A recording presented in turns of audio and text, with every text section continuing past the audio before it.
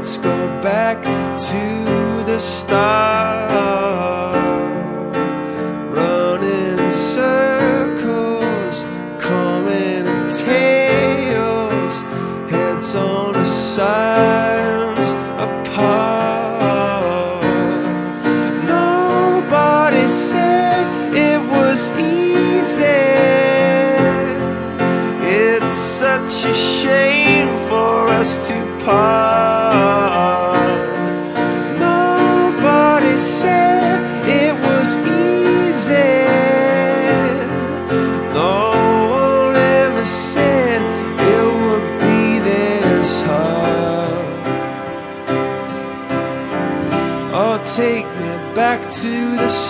Start.